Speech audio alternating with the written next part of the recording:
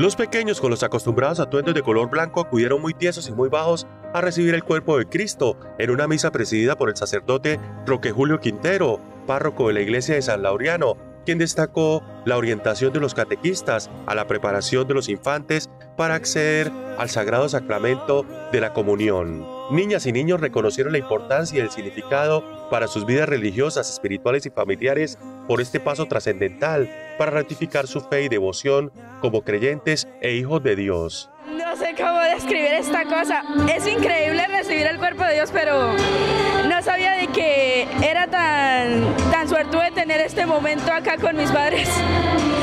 Y sí, gracias por todo lo que me ha dado el Señor y estoy agradecido por todo. Es tener a Jesús con nosotros.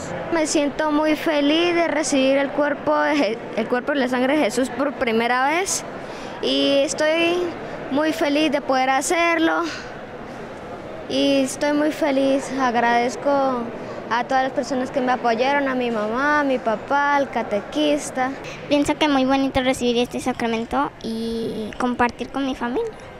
Por su parte, los padres de familia también destacaron la celebración de las primeras comuniones en una fecha tan especial de advocación a la Virgen María y en la víspera de la Navidad para fortalecer sus creencias y convicciones en el Todopoderoso y mantener la tradición y el legado en las nuevas generaciones. Es un momento especial para todos, para toda la familia, es un compartir, es un conocer, acercamiento también hacia los niños, con Dios, con la iglesia, con la comunidad, con la familia. Pues es un acto muy hermoso de recibir la Santa Comunión, de recibir al Espíritu Santo.